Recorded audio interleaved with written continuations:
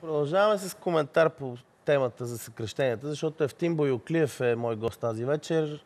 Господин Бойоклиев е председател на синдиката на административните служители към КТ Подкрепа. Добре дошъл в студиото още веднъж. Благодаря. Как го разбирате вие това? с 10% се съкрещава бюджета, а същевременно механични съкрещения с 10% на администрацията не са обсъждани. Какво означава? Как го разбирате?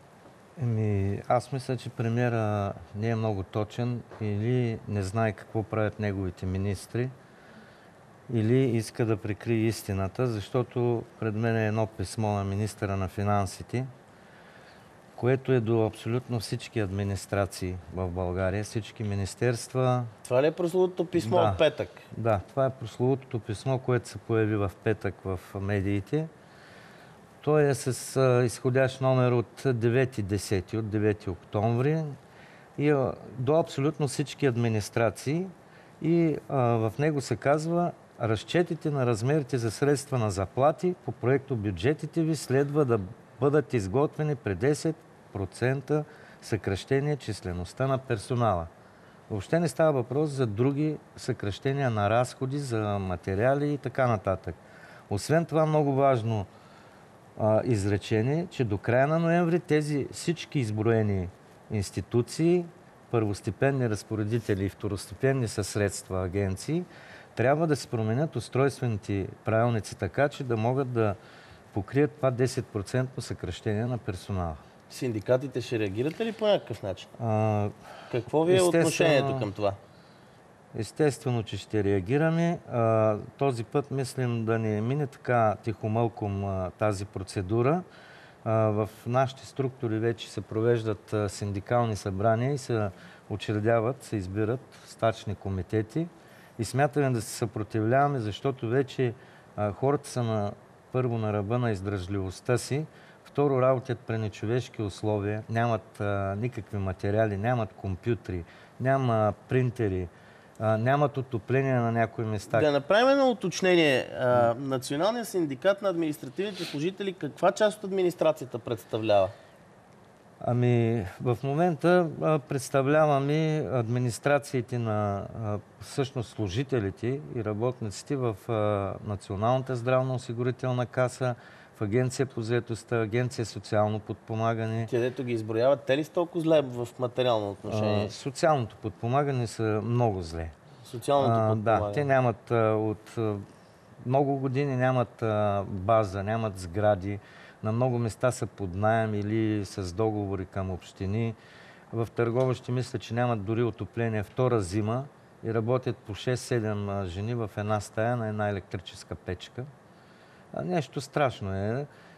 Насякъде са опашки, знаете, там декодери, ваучери, винетки. За цифровизацията декодери. Да, всичко минава през социално подпомагане.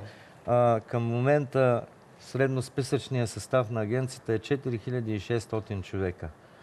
Като са махни ръководния персонал, представете си колко малко хора остават да обслужват милионно население. Понеже за брой хора говорите, тази дискусия, че нашата администрация е много раздута, върви от години. Каква е картината на администрацията цялостно? Колко души работят за ами, държавната администрация? Мисля, че министър Николай Василев по времето на НДСВ се опита да даде отговор на това въпрос и не можа. И не можа да... И каза, че не е възможно, което беше много странно, да се, да се даде точна информация колко е администрацията в България. Това наистина е доста странно. Защо е така? А, и винаги излизат противоречиви числа. Един път се казва, че е около 100 хиляди, други път 110, други път се казва 400 хиляди. Ма като се говори за 100 или 110, това е без МВР вътре. М- с МВР. С? С МВР. Значи аз, понеже нямаме синдикати в МВР, там са, те са вътрешни синдикати. Добре, то само МВР-то е 65 хиляди. Имаме информация, да, че са около 65-70, но а, тези администрации, които са най-важни за населението, които, където би възникнало и социално напрежение, това са НАП, Агенция социално подпомагане, НОИ, Агенция по заедостта и НЗОК. Това са администрациите, които всекидневно обслужват голям брой хора и население, особено Агенция социално подпомагане, знаете положението с безработицата, социално слабите, колко са много в страната.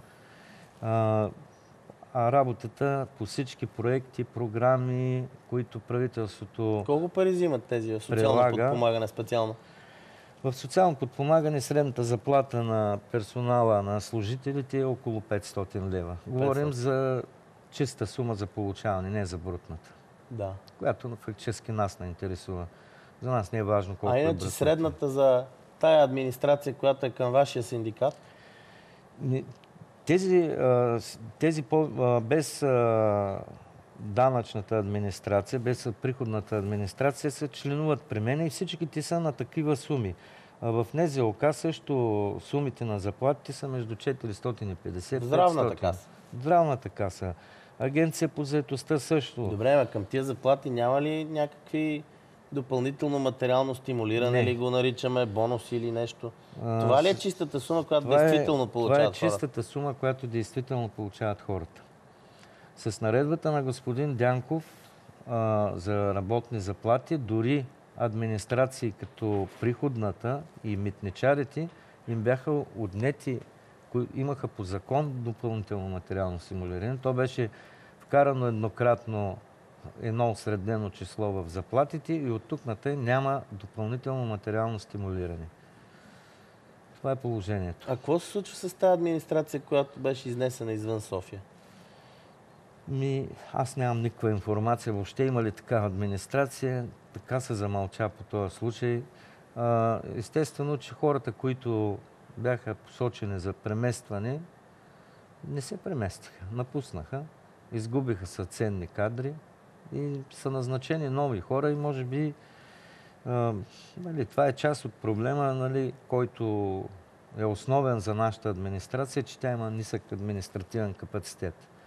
Имаме администрация, но всички хора се оплакват от Добре, от друга страна, ако вие синдикатите винаги скачате на стачка, когато се тръгне да се съкръщава администрация, а, значи, ние никога няма да построим, например, това прословото електронно правителство, защото логиката е нали, много услуги да минат по електронен път. Проблема е, че то го няма това на практика. Защо тези хора са затрупани с работа, на всичкото отгоре искате да ги уволняват, да ги съкръщават? А електронното правителство а, е затъгла. А, а то е, не знам, то е някаква химера това правителство, електронното.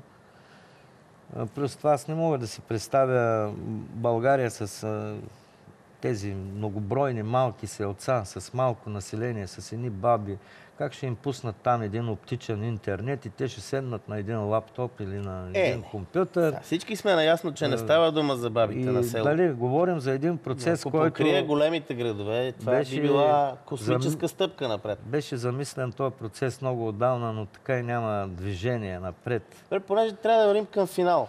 Да обобщим да разбирам ли, че вие стягате стачки, като тръгнат да, да се Специално ние в нашия синдикат стягаме стачка, защото не омръзна вече да на разиграват и а, хора некомпетентни да на управляват. Защото не мога да си представя в 21 век министър да пуща такова писмо, без да съобрази, че има синдикати, че има хора, съдби, че има колективни трудови договори, че там има една процедура, Говорите за писмото от петък, да. което пише, че заплаща 10% по-малко. дата 9 за дата 14 вече да са готови с разчети за съкръщение. Това дори физически не е възможно за съответните агенции и министерства да го свършат като работа. Добре, а, а каква, е, какво, каква е позицията на, целия, на цялата конфедерация подкрепа? Значи, Позицията на Конфедерация на труда подкрепа винаги се оформя от позицията на отделните нейни поделения. Естествено, че след като поделенията не са съгласни с нещо, с някакво действие, тя изразява позицията на поделенията. При нас такъв е реда, демократичния ред. На 25 октомври ще имаме конфедеративен съвет. Предполагам, че тогава ще се даде и цялостна оценка на управлението от изборите до сега и ще се вземат решения каква позиция да има конфедерацията. Благодаря за коментара. Пожелавам ви успех. Ефтим Бойоклиев, председател на Националния синдикат на административните служители с коментар за отношението на, на синдиката който той представлява, към намерението на правителството да прави съкрещения в администрацията.